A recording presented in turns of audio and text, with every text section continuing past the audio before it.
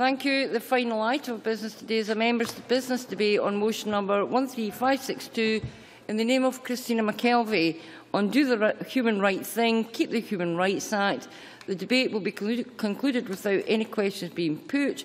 Would those members wish to speak in the debate please press the request speaking buttons as soon as possible? And can I warn members that I notice that time is extremely tight. So can I call on Christina McKelvie to open the debate? Thank you very much, Presiding Officer. Can I take this opportunity to thank um, all of my colleagues across the Chamber who signed the motion to allow us to debate this very important issue today? And can I thank Amnesty International, SCVO, HRCS, the Reid Foundation, the Scottish Human Rights Commission and the many other organisations who have helped us with understanding this process and given us um, some uh, input into how they see uh, this uh, piece of work shaping up. Presiding Officer, the Magna Carta went viral in 1215 Well, there was 13 copies made, complete with spelling mistakes, though they were blissfully unaware of LOL and the potential for tweeting the document. But the Magna Carta, unlike the Declaration of Arbroath, which enshrined the rights of Scotland's sovereign people, enshrined the rights of the barons of the time. It was, though still, a Bill of Rights in its limited sense. That the Prime Minister was happy to tear it up in its 800th anniversary speaks volubly of his approach to human rights, even those of his barons. He has, of course, displayed something similar in completely failing to recognise the rights of hundreds of thousands of refugees uh, to give them safety across Europe. And I listened to a wee bit of the Westminster debate this afternoon, and I have to say I wasn't um, very much uh, enthralled by it. Presiding officer, while Germany happily absorbs 800,000 people, David Cameron stands back and, under pressure, says, well, We might make, take a thousand or so from the camps, but we are not taking anyone who has jumped the queue, as one of Nigel Farage's acolytes put it. That arrogant, self -lack, selfish lack of the remotest compassion or even simple empathy for the family of Aylan Kurdi, as his small three-year-old body was carried out of the sea, brought anger and distress across Europe. Public outcry has been such that even David Cameron, who admits he hasn't a clue about the price of bread, had to back down a bit more than he would have liked. It might even upset some of his backbenchers that he'll have to take some desperate people from the refugee camps. According, according to David Cameron, King John was outrageous bully, and it was the brave barons that sat him down, gave him a jolly good talking to, and asked him to seal the document. Good on them. We should all stand up to bullies wherever we see them whether that's in the school playground or indeed in the House of Commons. We need to stand together to fight the kind of right-wing extremist messages that are infiltrating our communities and terrifying our towns and cities with their messages of hate and blame. And Amnesty's drive to do the right thing is about exactly this. This campaign to save the Human Rights Act demands that the Westminster Government is stopped from bullying the very citizens who put it into power. This is yet another one of those arenas in Scotland where we get a double whammy. We can't decide to hold on to it for ourselves and we can't stop it from being passed by David Cameron's government and so being subjected to the loss of our human rights. We are, in other words, being bullied.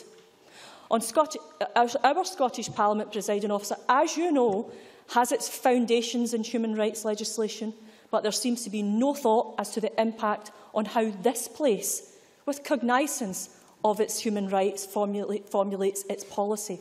Something I'm extremely proud of. It's something that's threaded through the Scotland Act and something we should all be extremely proud of. Presiding officer, that is why Amnesty's campaign is so very, very important. Scrapping the Human Rights Act would be a dangerously retrograde step that could put, us all under threat of tyranny. As Alan Hogarth, head of the advocacy and programmes at Amnesty, succinctly puts it, and I quote, Human rights are not a gift to be bestowed upon us by monarchs, barons or democratically elected politicians even. They are ours to be treasured and protected. It is not up to them to decide who and who is not entitled to human rights. The human part of this is universal. And he continued, if the Prime Minister is sincere about protecting human rights in the UK and is proud of the Magna Carta's legacy, he should stop attack attacking the Human Rights Act and think about he, how he can ensure how we all have equal access to justice. Presiding officer, the people spoke out and the Tory government had to listen. As we were preparing for the juggernaut of a bill that would scrap it, suddenly we were being told that there was to be a consultation, not a bill. Ordinary people refuse to be bullied by this government. But make no mistake, dumping the Human Rights Act and withdrawing completely from ECHR is still a live option. It hasn't gone away. People tend to concentrate in the Human Rights Act importance for refugees, for those who are being tortured, threatened or trafficked. But in fact, its impact reverberates through far more lives than those at the front line of conflict situation. Presiding officer, I give you Jan, an MS sufferer, believed her lack of care support infringed her human rights as an individual. Studying the legislation, she says, helped me to feel stronger, strong enough to search for the support to challenge my local council, and she won not only the additional support, but a sense of her own worth that she'd lost over time. Without the Act in place, what would have happened to Jan? Do you think she would have managed to get more support? Getting rid of the obligation to treat people as human beings is another handy backdoor way to save money. Welfare reform already includes the erosion of human rights. Can you bear to imagine what might happen if we lacked the ultimate security of the ECHR? Or families, possibly families stuck in domestic violence. A woman who's stalked and abused by a violent partner surely has the right to be able to escape with her children. That right is enshrined in the Human Rights Act. The Act makes it safe to be gay, That's still illegal and could lead to execution in 78 countries in this world. Thanks in large part to the ECHR and the Human Rights Act in the UK, our rights to be treated as equal with equal access to protection regardless of gender, sexuality, ra race, age are all protected by law.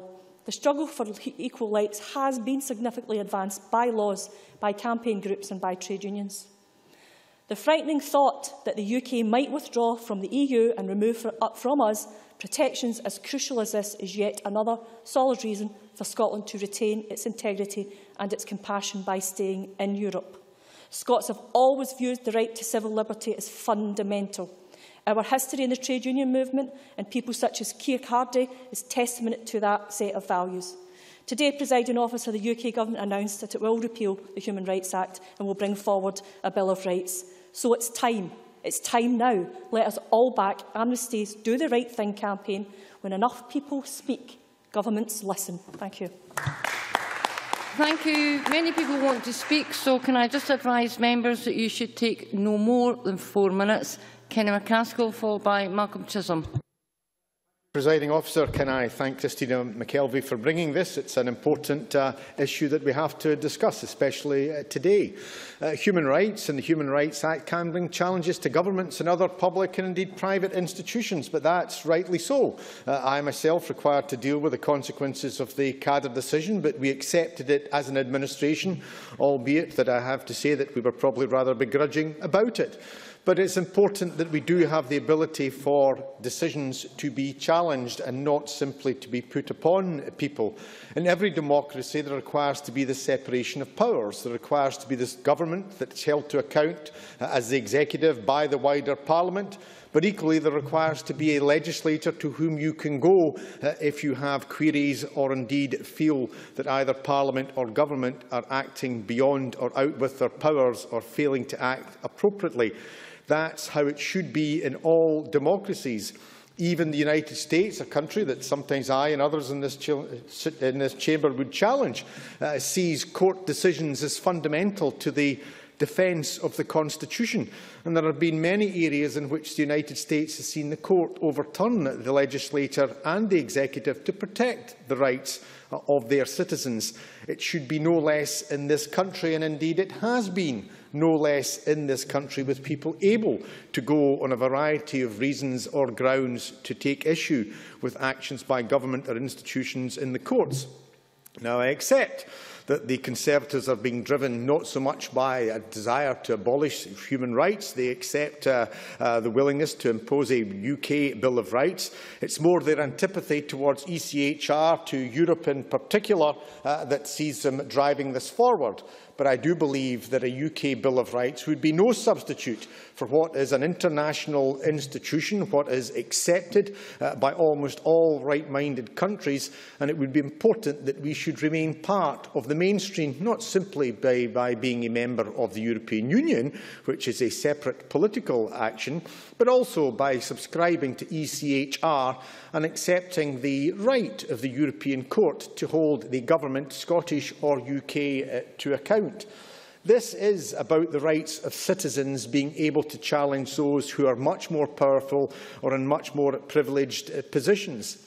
There is a great deal of obsession in the media uh, about crime. That, after all, is one of the things that helps to sell tabloid newspapers, and many of the major challenges that we've faced in Scotland and the UK have been related to criminal justice, and I did myself mention the Cadder uh, issue. But it is much, much wider and broader than that, as Christina McKelvie correctly said. It is about the rights of citizens, whether it's on mental health, whether it's on access uh, to legal aid, whether it's a whole gamut of other aspects. So it is important. Equally, if we were to see uh, withdrawal from the Human Rights Act, then it does put Scotland in limbo, given its uh, constitutional position in the very founding document of this party and it would leave the UK isolated along with North Korea and other countries that do not seek to be part of the mainstream world. That is why we should and must preserve the Human Rights Act and remain signed up to ECHR. It would, though, perhaps be remiss of me not to take the opportunity to have a sting in the tail to say that in championing the human rights, I do think it is important that the Scottish Government should take cognizance of both ECHR and the decisions of the European Court on the right of prisoners to vote. It would be no small step uh, to make sure that we got on the right side of the European courts. It's perhaps something that we should think about, as well as chastising the Tory government for their actions and as they propose to do. Malcolm Chisholm, followed by Margaret Mitt. Uh, Presiding officer, I congratulate Christina McKelvie on bringing forward this important motion. I agree with what she said at the start of her speech about uh, refugees, but also more generally about the importance of the Human Rights Act in protecting fundamental liberties and holding power to account. Now, of course, the actual Human Rights Act was passed by the Labour government in 1998, and what it was seeking to do was to ensure that people who wanted to take a case previously to the Human Court of Human Rights could, from 1990 onwards, uh, take, their case, uh, take their case to the domestic court. So obviously the uh, UK government is seeking to abolish that aspect of ECHR, but my understanding is that they also want to have the right to veto ECHR more generally, and that, of course, would, would require them to actually uh, depart from ECHR, from the Council of Europe. Some people even argue from the EU, although I don't think that would necessarily uh, follow. Uh, I think the Conservatives also want to limit human rights coverage to the most serious cases and deny people human rights if they are not deemed to have made a positive contribution to the UK. So these are very significant changes. And although uh, I, I reminded people that it was the Labour government in 1998 that brought in the Human Rights Act, it was actually a Conservative government uh, in the early 1950s who was very, very keen on the ECHR. Churchill was keen on it. I think it was a Conservative MP, Maxwell Fyfe, who was very instrumental in the drawing up of the ECHR. So this is a new departure uh, for the Conservative Party to be uh, challenging uh, fundamental rights in this way. And I know that there are uh, quite a few Conservative MPs in the UK Parliament who are not happy about this, and part of my grounds for optimism is that they may rebel. But of course, my other ground for optimism is that uh, uh, we, I think, do uh, that, that, that abolishing uh, the Human Rights Act uh, does require uh, the consent of this Parliament. So I think we actually have a very important role to play in protecting uh, the Human Rights Act and ECHR more uh, generally. Now, it's made groundbreaking judgments on a wide range of issues helping the UK to become a more progressive society. And I think to those who criticise some of the judgments, we should emphasise how many of those judgments have actually helped some of the most vulnerable people in society, for example, protecting uh, older and disabled people who are receiving care. Uh, other examples are it has helped victims of rape sue the police for failing to act on their complaints and has also held social services to account for not doing enough to stop child abuse. Of course, it's not just the vulnerable uh, who are protected by it. It also helps to protect the freedom of the press, which I'm sure we all believe in, and has also, for example, defended the rights of servicemen and women to have uh, the right equipment when they are serving uh, uh, overseas. So I strongly support the Am Amnesty campaign launched in April, which urges people to do the human right thing and uh, protect uh, the Act. And the Amnesty campaign uses examples to highlight um, the very real impact that the Human Rights Act has had. It also has a petition. I think it's got nearly 100,000 signatures. People can uh, add their names to that at www www.savetheact.uk. And I think it is powerful, the examples that Amnesty give in their um, campaign. I've given some general examples already, but I think it's really important to remind people who are critical of the Act exactly what it has meant in practice. For example, a woman with multiple sclerosis who was forced to spend all day, every day in bed, was able to use the Human Rights Act to get her local council to increase the amount of care she received. A second example that they gave, an elderly couple who were placed in separate care homes after 65 years of marriage, they were able to use the Human Rights Act to successfully persuade their local authority to uh, allow the, the woman to move into her husband's care home. I have other examples, but I can see my time is running out. We only need to glance abroad to the crisis, whether in Syria or Gaza or in other places, or look to the horror being faced by refugees on the shores of the EU to recognise just how precious our human rights are and how we must fight for them. We must fight for the human rights of others, and we must face down any attempt to withdraw those rights in the UK. Margaret Mitchell, followed by Alice McKim. Uh, thank you, Presiding Officer. This is not a new subject, having been covered in topical questions and other debates.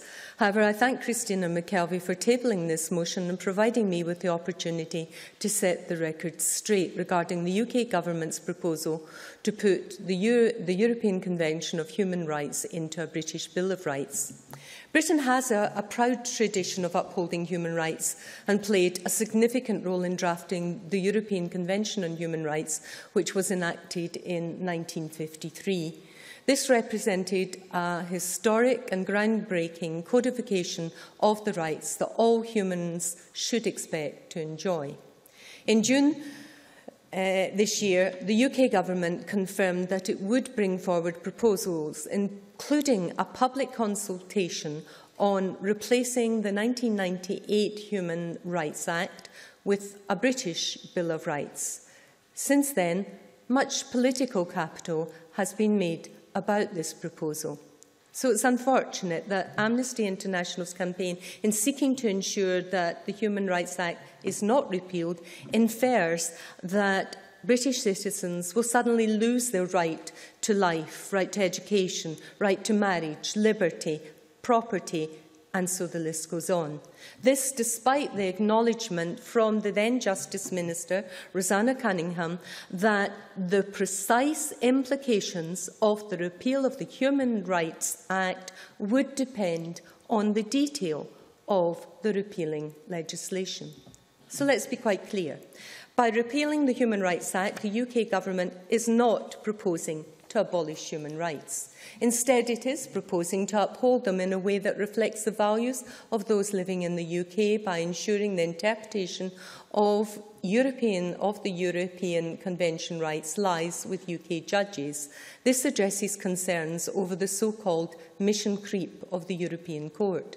A recent case in point being the European Court's decision that life imprisonment for the most serious, violent offenders should not be allowed on the basis that it amounts to inhumane or degrading treatment or punishment, regardless of the severity of the crime. Another example is the European Court's decision on the rights of prisoners to vote, already alluded to by uh, Kenny McCaskill. This was a decision that our now First Minister Nicola Sturgeon recognised as problematic when she disagreed and said people who commit crimes and are sent to jail do not get to vote. I do not believe that a good case has been made for changing that situation. However, presiding officer, I consider it only fair to point out the irony of so much political capital being made about the supposed adverse effects of the proposed Bill of Rights when the Scottish Government has allowed potential human rights abuses to continue on its own watch on issues for which it has complete devolved competence. The so-called consensual stop and search by police in Scotland, where thousands of people, including children, have been searched without knowing they had a right to refuse, is evident of this infringement of human rights here. So, to put it in perspective, rather than raising this topic repeatedly when nothing further has happened since the initial announcement last year, the Scottish Government should instead concentrate on making sure the devolved issues over which it has competence are not the subject of the infringement of human rights here in Scotland. And I again thank the member for bringing this debate and allowing me to set the record straight. Alison McInnes, followed by Rod Campbell. Thank you, President Officer. I congratulate Christina McKelvey for securing a debate on what is an important issue.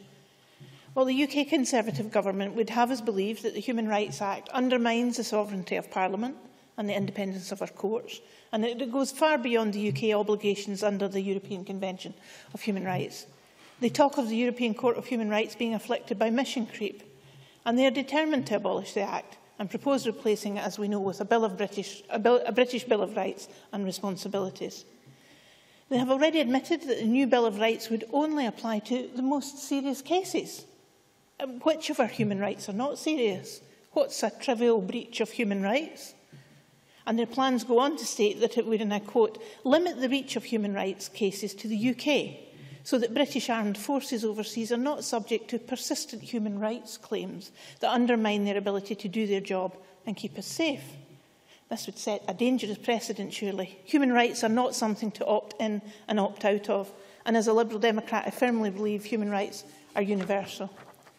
In this week of all weeks, when David Cameron has been found so wanting in his government's response to the refugee crisis, why would anyone even contemplate allowing them to tamper with the hard-won freedoms set out in the Convention and in the Human Rights Act? Amnesty International's campaign, Do the Human Right Thing, focuses on saving the Act, and I strongly support their campaign and the work done by Amnesty International on this issue.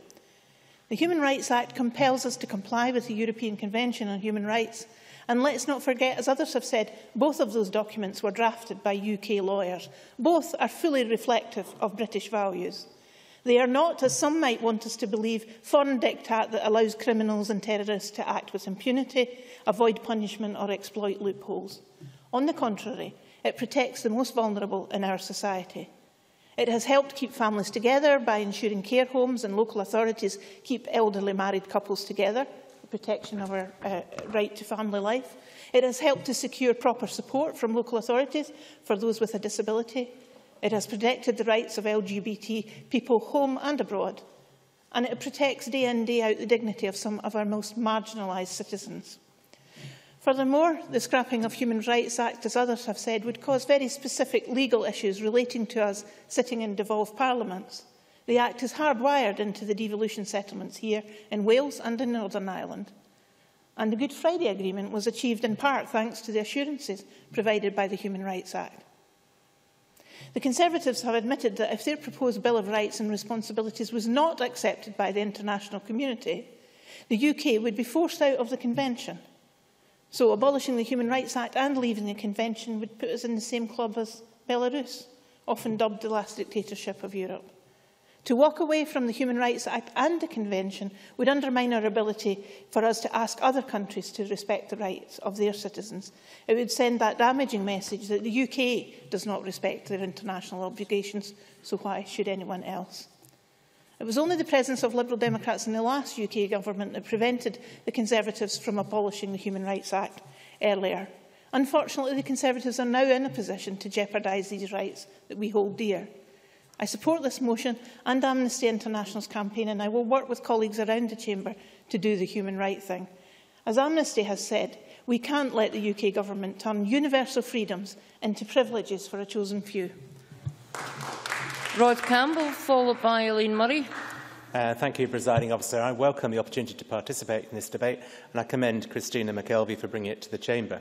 As others already indicated, it's perhaps hard to remember that in the late 1940s and early 50s, Conservative politicians of the day were proponents of the European Convention of Human Rights, but they recognised the need to move forward in Europe and not to move backwards even though in the case of uh, David Maxwell Fyfe, who uh, Malcolm Chisholm has already referred to, he would perhaps have been surprised at the extent to which the Convention has moved forward in relation to matters of sexual morality. But last autumn, Conservative plans to repeal the Human Rights Act and replace it with the British Bill of Rights were announced, together with a move to stop the UK courts having to take account of Strasbourg jurisprudence. Since the election in May, Conservatives have reiterated that commitment, and we now seem to be moving on towards a consultation. But why are these proposals worrying? Because the Human Rights Act is the act that sets out the fundamental rights and freedoms that everyone in Scotland and in the UK has access to. These rights and freedoms are, of course, based on the Convention. And according to that Act, all public authorities must respect these rights and freedoms, including prisons, police officers and councils, an essential mechanism to protecting our rights and freedoms. Presiding officer, Scotland has a long and rich tradition of upholding human rights and freedoms. Even the Scottish Government's recent commitment to accept a fair and proportionate number of refugees in Scotland in the wake of the European refugee crisis is a fine example of that commitment to those who have no rights in their own countries. Furthermore, the Human Rights Act is, of course, at the heart of Scottish legislation. Any withdrawal from the Act under the Civil Convention may have implications for the devolved settlement. The Conservative Party, as we know, has only one MP in Scotland, only one representative out of 59 committed to these proposals. I urge the Conservatives to think carefully about the wider implications of this move. They simply have no mandate to tamper with Scotland's long and rich commitment to human rights. And I'm sure my SNP colleagues and indeed Liberal and Labour representatives at Westminster and at Holyrood will continue to oppose Tory proposals to repeal the Human Rights Act. Furthermore, it's quite indicative that several charity organisations and groups, including the SCVO and the Health and Social Care Alliance, have highlighted their concerns about the potential risks associated with repealing the Act. Even those in David Cameron's own party have voiced opposition to the UK government's plans to repeal the Act, including, of course, David Davis and Ken Clarke, among others. For all the talk of bad decisions on prisoners' right to vote, with both Westminster and the Scottish Parliaments taking the view that prisoners should not have the right to vote, when it came to it in February this year at the court, the disappointment of some lawyers, no doubt, the European Court decided that UK prisoners barred from voting were not entitled to compensation. Presiding officer, my suspicion is that a British Bill of Rights, will be equal to an English Bill of Rights, which would fail to take into account the needs and interests of the people of Scotland. Indeed, in the Conservative proposals published in October, apart from a small reference to the claim of right of 1689, you could be forgiven for thinking that Scotland did not exist at all. I think we are right to be fearful of a British Bill of Rights, particularly in relation to social rights, and I think we can be certain that it will severely curtail anything which might look to be a right to economic assistance, to housing or welfare. Presiding officer, I'd like to conclude by referring to the possible constitutional crisis the Tory proposals will cause, because in the views of some commentators, uh, Michael Pinto-Duschinsky, um, Scotland and the UK risk being forced out of the convention altogether. In his view, you can't leave, can't leave the jurisdiction of the court without also rejecting the convention. And there's also a problem in the view of a commentator, Professor Francesca Klug, in terms of the UK's continued membership of the European Union. In her view, uh, you can't adhere, you can't, uh, adhere to the convention and uh, uh, you need to adhere to the convention to be a member of the European Union. No doubt for Tory Eurosceptics that's grand, but for more considered voices, uh, I would suggest don't do it. Elaine Murray, followed by John Finnie. Thank you, Presiding Officer. And can I also congratulate Christina McKelvey on securing this debate? It's a very appropriate topic for debate because the human rights of millions of people in Syria and across the Middle East and North Africa are threatened to the extent that they have had to flee their countries of origin and seek asylum elsewhere. And of course, there has been an outpouring of human humanitarian response in Europe to the horrific experiences of our fellow human beings. And while we compare our situations to theirs, it, It is also worth reflecting on how the European Convention on Human Rights, drafted way back in 1950 in the aftermath of the Second World War, protects those of us fortunate enough to live in Council of Europe member states from the atrocities which others suffer. As a Scottish Labour member, I am proud that it was one of the first actions of the incoming Labour government in 1997 to incorporate ECHR into domestic law. I am pleased, therefore, to fully endorse Amnesty International's campaign Do the Human Right Thing, raising awareness of the importance of the Act and the threat currently proposed, posed by the UK Government's intention to repeal it and replace it with a so-called British Bill of Rights, and it's a Bill of Rights, not a Bill of Human Rights, which is, is proposed. Professor Alan Miller, Chair of the Scottish Human Rights Commission, warned in October last year that, quote, human rights laws have often benefited us in ways we do not always realise. Here in the UK, they have been used to expose fatal failures in hospitals and care homes and to challenge the unfair impact of the bedroom tax. From protecting soldiers in battle to challenging prison conditions that have no place in a decent society, the Human Rights Act and the European Convention on Human Rights provides a safety net for everyone. Why, therefore, would the UK Government wish to remove that safety net and risk expulsion from the European Convention? A clue to that is the way in which the original announcement by Chris Grayling, Justice Secretary at the time, was greeted by delighted headlines in right-wing tabloids trumpeting so-called British values and removing the authority of meddling European judges. Those same publications had for years reported human rights as only benefiting in their view, bad people, such as offenders and others they considered to be undesirables. Theresa May herself contributed to this in 2011 by her unfounded so story at her conference about an illegal immigrant being allowed to stay in the country because he had a cat. Like organisations such as H uh, SCHR, uh, the Amnesty International campaign presents the other important side of the argument. Malcolm Chisholm has already referred to the vulnerable elderly couple who would have been separated when he was admitted to care home because uh, he, she didn't fit the criteria for that home. Their human rights to family life have now been respected. The woman fleeing domestic violence with her children, accused of making her children intentionally homeless and threatened with the removal of those children, a family now rehoused because their human rights were, were recognised. Rape victims no longer subjected to cross-examination by their attackers. The journalist who appealed to the European Court and permitted not to reveal his source on the takeover company in order that the information he had obtained from that source could be provided in the public interest. Yes, human rights approach can force us to focus on issues which are controversial. We discussed one, the age of criminal responsibility, at the Justice Committee this morning. Issues such as the rights of prisoners to vote or the physical punishment of children can provoke instinctive responses. ECHR and the Human Rights Act have forced us to consider the difficult issues more deeply and more thoughtfully. Repeal of the Human Rights Act would be a deeply retrograde step, and I wish the Amnesty International every success in its campaign to make the Conservative government think again. John Finnie, followed by Christian Allard. Uh, thank you, President Officer. I also congratulate congratulate Christina McKelvey for a timely debate, but then I always think it is timely to discuss human rights. I'd like to thank everyone for the briefings and declare my membership of uh, Amnesty and indicate my support for the uh, Do the Right Thing campaign. I think I alluded before to a, a meeting I, I attended of the Highland Senior Citizens Network as part of the SNAP process where there were been, as part of civil society, being consulted on, on how we should go about dealing with our human rights there and embedding them. And the, the chair, um, a very respected individual, acknowledged that he had no previous experience of human rights. In fact, many of the people there wonder about the, the relevance to them. But as it became apparent due to their very positive work in relation to the quality of care that was provided with care homes, the dignity of residents, issues like hydration, mobility, bed sores, medication, privacy, they really fully understood the need for a rights-based approach.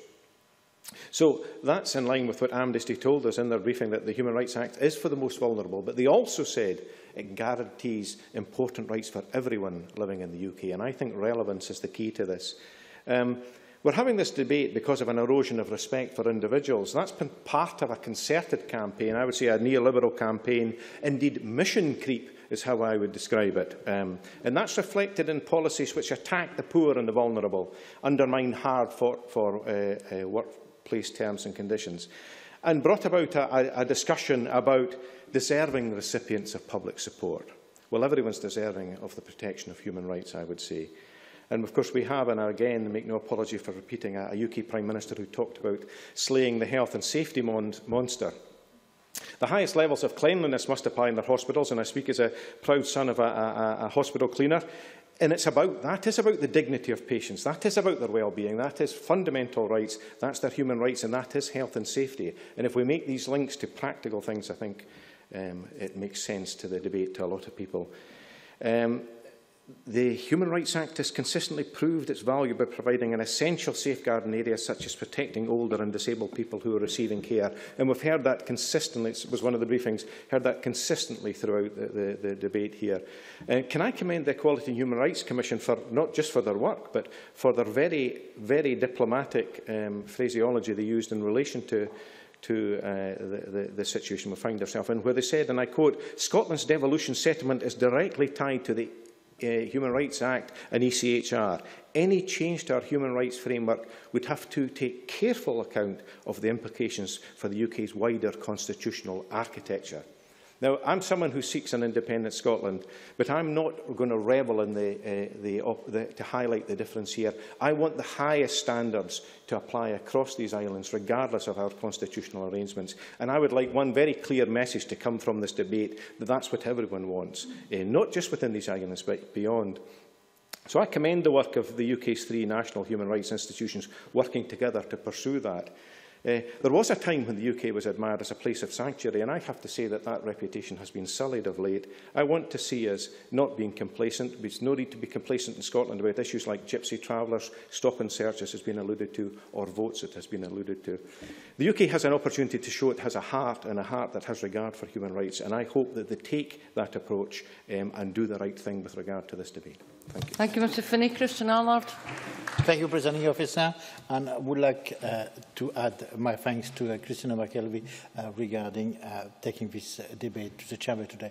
I think it's very, very important, and like uh, John Finney just said, it I think it's very timely. It's very timely. Why?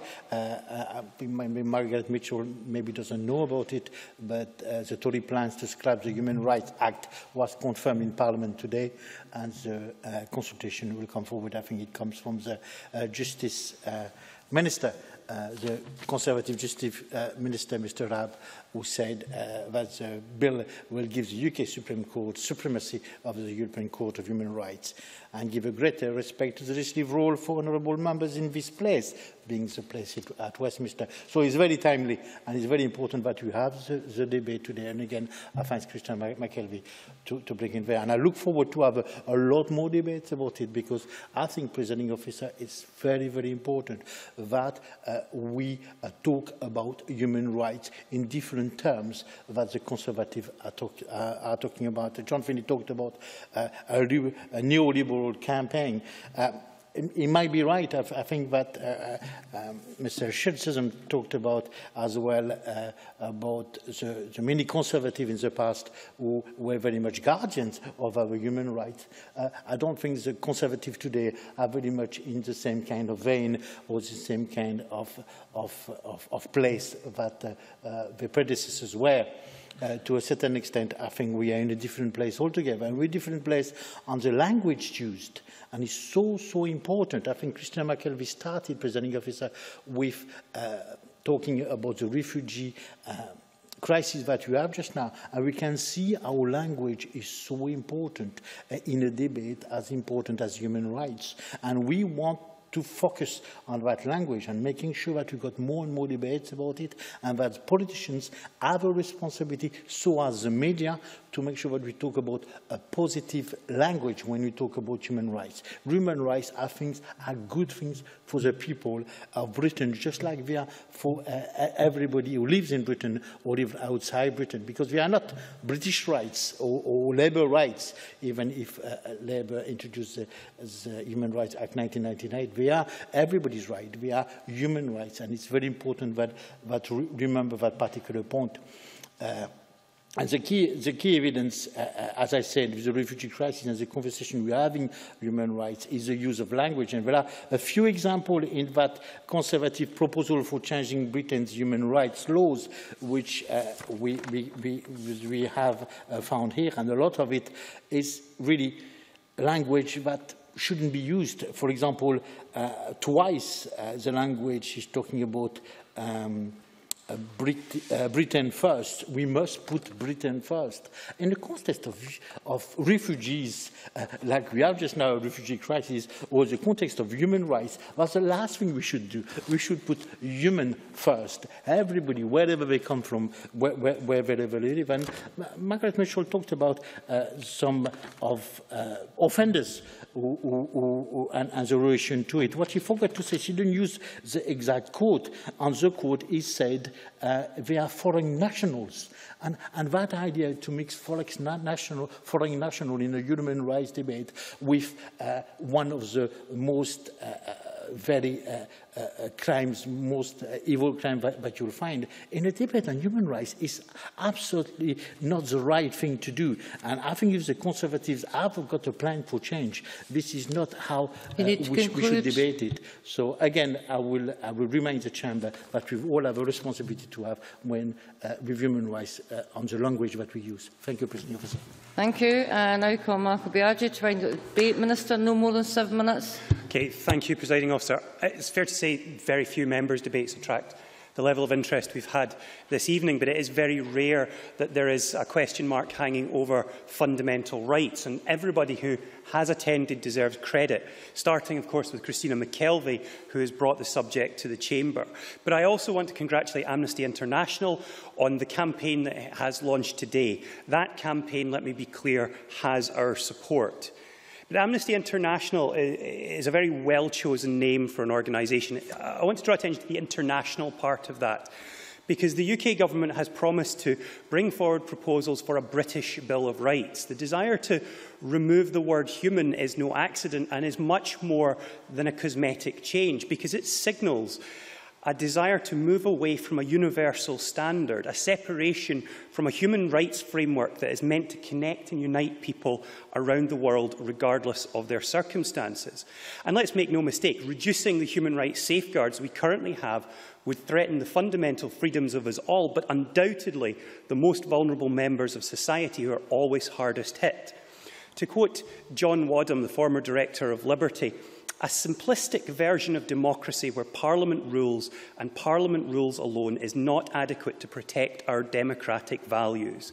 The Bill of Rights we have is the Human Rights Act, and the Bill of Rights we need is the Human Rights Act. And as a result of this desire to move away from the existing terms, it is no surprise that the eyes of the world are on us. There has been contribution focusing on the critical protections provided by ECHR and HRA, but let's not forget the wider framework, seven core UN human rights treaties and eight that we have signed up to under the Council of Europe treaty system. The UK was recently examined by the UN Human Rights Committee in relation to its obligations under the International Covenant on Civil and Political Rights, a treaty which in itself echoes many of the key protections found in ECHR. Members won't be surprised that the committee's concluding observations expressed concern in the UN, as there is also in the Council of Europe, at the prospect of the UK retreating from its commitment to human rights and fundamental freedoms. That concern is widespread. Albie Sachs, a South African lawyer and judge, said, if you did a paternity test, you would find the UK's genes are there in the ECHR's conception. The threat to withdraw would be like daddy leaving home. The country that was amongst the founders of the European Convention and the ECHR could become the dismantler of the entire enterprise. And ask ourselves, what message does it send when we wish to provide international leadership on the importance of complying with human rights if we are withdrawing from what is seen as a more international standard. The Irish government has highlighted the dimension that affects them, stating that protecting the human rights aspects of the Good Friday agreements are a shared responsibility between the two governments. That is an unusual intervention, but it also reflects some of the constitutional issues that the proposals throw up within the United Kingdom. Under the Scotland Act, the power to observe and implement international obligations, including obligations under the ECHR, falls firmly within the competence of this Parliament. And like the wider work of this Parliament, that power and those obligations are of immense importance. The Sewel Convention exists to ensure that there is some constitutional underpinning of the rights of this Parliament, that the powers of this Parliament will not be changed without the permission of this Parliament. But that Sewel Convention is bounded only by the UK Government's willingness to exercise restraint in using the sovereignty that the Scotland Act 1998 reserves to them. Could there be a more apt illustration of where rights beyond the untrammelled will of Parliament are needed and necessary? And there are some very real dangers here. Margaret Mitchell has highlighted uh, the proposals, but I would just say that if we are having a British Bill of Rights, if it is the same as ECHR, why bother? If it is different to ECHR, I think it's safe to assume that this government won't mean that the different means stronger, especially when there are the accusations of mission creep and where there are the doubts, as Rod Campbell have highlighted, about commitments to social rights. And we've heard repeatedly today about the desire to reduce the accessibility of recourse to those rights. Underlying the Conservative proposals, I think, is the complaint that sometimes courts in the UK or in Strasbourg deliver judgments that the government of the day doesn't like. Well, the rule of law means that governments can't simply pick and choose which court ruling should be allowed to stand. Courts making decisions with which we disagree is not an excuse to get rid of the court system. And there are a lot of myths in the wider debate. Let me try and scotch a few of them. In 2014, the court dealt with 1,997 applications concerning the UK and a violation of convention rights was found in only 0.7% of cases. In fact, the UK had the highest number of judgments finding no violation. Malcolm Chisholm and Alison McInnes and others have highlighted some of the positive examples, the positive examples that we need to hear more about. The victims of rape that can expect now to see their complaints investigated, people serving in the army who can expect to receive equipment and training to an appropriate standard, children suffering mistreatment or neglect that can expect social services to respond to warning signs, journalists who aren't required to disclose their sources, disabled people, including people with mental health problems in care or detention who can expect to receive treatment and conditions to meet their specific needs. Victims of uh, LGBTI people who have used human rights to overcome discrimination, and indeed that elderly couple who, after 65 years of marriage, were going to be forced to live apart due to their differing care needs and used the Human Rights Act and Article 8, the right to family life, to ensure that the Council backed down. With every day that passes, I think the UK government is showing more and more that its all-consuming obsessions are shrinking the state and an instinctive aversion to almost anything with the word European in its title. Those aren't my values, they're not this government's values, they're not this parliament's values. In fact, I don't think they deserve the word values at all. Values are what are in the ECHR. Scotland will stand for those. Scotland will do the human right thing, and I sincerely hope that the UK sees sense and follows suit. Thank you, Minister. That ends uh, members' business for this evening. I now close this meeting.